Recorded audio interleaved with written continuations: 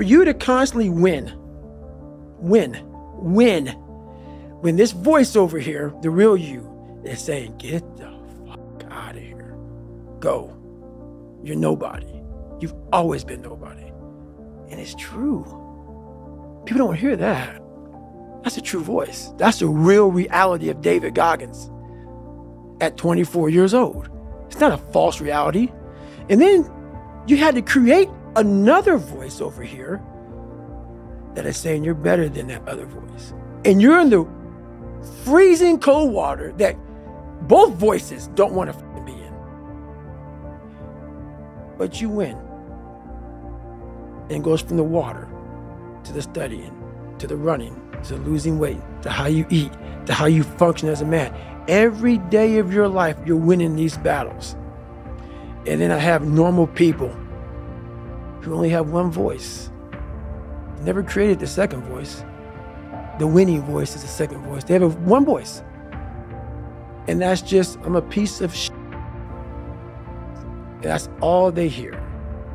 And then they judge people like me who are out here trying to be better. It's something that I can never really, it's a frustrating thing for me. Because I know, I know the majority of people. I know what goes on in the brain because I studied the mind more than almost more than you. Because I wasn't, I'm a practitioner. So for you to be a piece of shit and come out of that, you don't just come out of it. You spend decades studying your mind and the human mind on how it functions in good environments, bad environments, stressful environments, patient environment. You studied all because you had to put all this together to create the mind to become successful. So I had to, it was like God blessed me with this brain. I had to create a mind. And so in doing so, I figured out every piece of human being in the world because that's what I was going off of for myself. So I know why you go on Instagram. I know why you, because you just have the time. You have the time because you don't want to put that time into bettering oneself. So I know why I'm misunderstood. I'm misunderstood by people who have plenty of time on their hands to misunderstand me because they are exactly where I once was, which is a low life, lazy piece of shit. And it's the harsh reality of people who troll you, who go after you.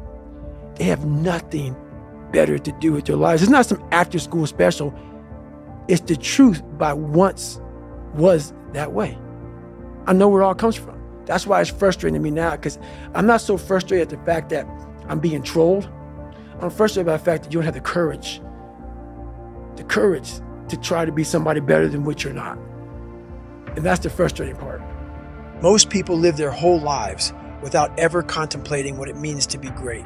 They put all the greats on a pedestal, but think of themselves as mere mortals. And that's exactly why greatness eludes them. They turn it into some untouchable plane, impossible for almost anybody to reach, and it never even crosses their mind to aim for it.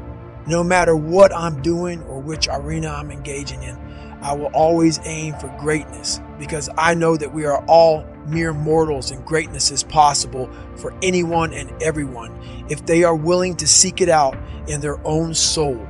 In Gogglish terms, greatness is a state of letting go of all your faults and imperfections, scavenging every last bit of strength and energy, and putting it to, to use to excel at whatever you set your mind to. Even if some motherfucker out there told you it was impossible, it is a feeling pursued by those rare souls willing to extend themselves beyond reason and pay the cost.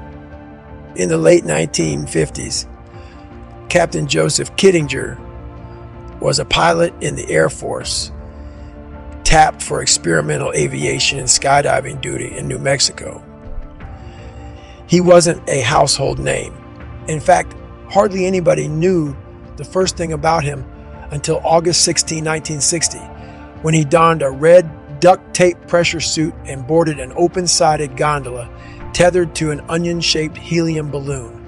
He flew that rig nearly 20 miles high until he reached the thin atmospheric line where everything goes from blue to black. He traveled to a place where the horizon did not exist. He was above and beyond all previously known limitations. Suspended at 102,800 feet, he unclipped his harness and stepped into space. His free fall lasted nearly five minutes. His maximum velocity was 614 miles per hour. He plummeted over 80,000 vertical feet before his primary chute opened. This was no Red Bull sponsored party. It wasn't a television show. Kittinger wasn't an entertainer. He was an explorer, a seeker of a new realm for the world. His flight and his jump helped make man's space flight possible, and also for himself. I don't jump to Earth from outer space, but I know that atmospheric line between blue and black. It is the glimmer of greatness that runs right through the human soul. We all have it. Most of us will never see it because to get there requires a willingness to extend yourself to the limit without any guarantee of success. Then again, success is just another mile marker on the journey. Landing the jump and walking away while lighting a cigarette as if it were a typical day on the job made Kittinger look cool. But it didn't make him great. His willingness to do it in the first place, knowing that the chances of failure were high and everything it cost him made him great. It wasn't a stunt to garner fame or publicity. It was merely an attempt to see what was humanly possible. Just as words can be redefined, never doubt that we can redefine ourselves. It can feel impossible at times because we live in a world filled with arbitrary boundaries and fixed social lines that are as thick as the walls around a fortress. Worse, we allow those walls to limit us in too many ways. The brainwashing starts early and it starts at home.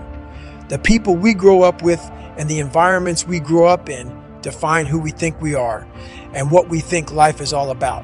When you're young, you can only know what you see. And if all you are ever exposed to are lazy people, content with mediocrity, or who convince you of your own worthlessness, greatness will remain a fantasy. If you live in the ghetto or in a dying industrial or farming town, where buildings are boarded up, addiction runs rampant, and the schools are a mess that will factor into the possibilities others envision for you and you envision for yourself. But even privileged people can feel shackled by their circumstances. The vast majority of parents don't know what greatness looks like, so they are ill equipped and afraid to encourage big dreams. They want their children to have security and don't want them to experience failure. That's how limited horizons get passed down from generation to generation. Should we really be surprised that almost everybody has a knack for twisting their story to work against themselves? I hear it all the time. Privileged kids say, I have too much, so I cannot develop the skills that you have. The kid that came from nothing will tell me, I don't have enough. Therefore, I cannot develop the skills that you have. No matter where someone is in life, they never fail to confess why they can't get where they need to go. The minute they open their mouths, I see how limited their horizons are. And their sob stories come with the expectation that I will deliver a become great package to their front door. But that's not how it works. To this day, it is for me to become better mentally. Mm. How I look has just become a like I have thousands, thousands, hundreds of thousands of miles on this body running, pull ups, push ups, swimming, whatever you want to call it. This body is what it is now. It's from repetition. It's not from studying, you know, hey, if you hold a plank for this long, fuck all that bull. I don't, I, I don't care about it. I just do it for my mind. Right. I want to continue to harden because that's the only thing I want. That's what I want. I want to have that mind ready for life. Identity is a trap that will keep you in blinders if you let it. Sometimes identity is what we are saddled with by society. Other times is a category we claim.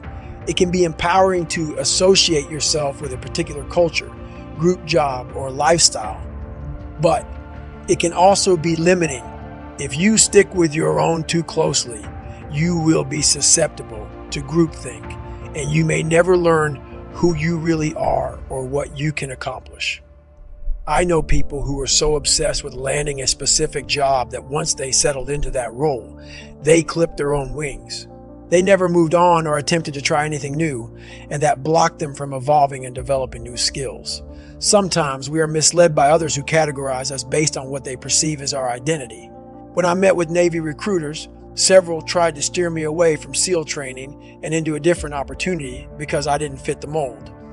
I was overweight, my ASVAB scores were low, and there was my skin color. Remember, I was only the 36th Black Navy SEAL. The recruiters weren't trying to hurt me, and I don't believe they were racist. They honestly thought they were helping me by presenting more realistic options. Usually, however, we mislead ourselves. Those of us who are struggling with our self worth, like I was as a child, often build identities around the very things that haunt us the most. Not because we want to, but because subconsciously we are convinced that is how everyone else sees us. You cannot allow what someone else may or may not think about you or the issues you're dealing with to stop your progress. My environment and my history made me over anxious and stressed out. The color of my skin made me a mark. I was prejudged and vulnerable at almost every turn, and it was my job to defy all of that. No matter how troubled or hopeless or sheltered your environment is, it is your job, your obligation, your duty, and your responsibility to yourself to find the blue to black line, that glimmer buried in your soul, and seek greatness. Nobody can show you that glimmer. You must do the work to discover it on your own. There are no prerequisites to becoming great. You could be raised by a pack of wolves. You could be homeless and illiterate at 30 years old and graduate from Harvard at 40. You could be one of the most accomplished mother in the country and still be hungrier and work harder than everybody else you know as you attempt to conquer a new field. And it all starts with a commitment to looking beyond your known world, beyond your street, town, state, or nationality, beyond culture and identity. Only then can true self exploration begin. After that comes the real work. Fighting those demons every morning and all day long is maddening because they only ever want to break you down. They don't encourage you or make you feel good about yourself or your long odds as you fight through all the toxic mold and crust that is self, hate, doubt, and loneliness. They want to limit you. They want you to surrender and retreat back to what you know.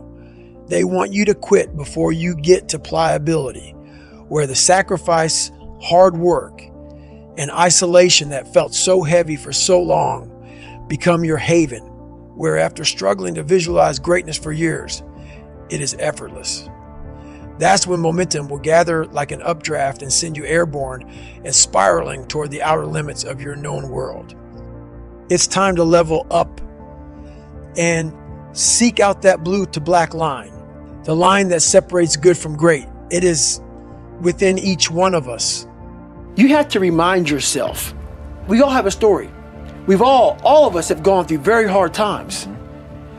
But when we're, when we're in a hard time, our mind has a way of forgetting what all we've overcome. Mm-hmm. I have a way of taking one second when I want to quit and saying, okay, you endured this. So I look at my life and how I came up as the ultimate training ground. Mm-hmm versus most people look at it as why? Woe is me. God, why? Exactly. Why? I had to flip this upside down and say, hang on a second. God was training me to be one of the baddest men on the planet Earth. That's how he, this right. was this was my journey. Because those things beat me, but they didn't kill me. Not and I was able to work around them and figure right. out ways through it. So when I was in the worst time of my life in Hell Week, I looked at everybody and said, I'm the most trained person here. I've gone through more mental torture than any of you all can even fathom. So I'm looking at the baddest people on the planet. I'm looking at them like this.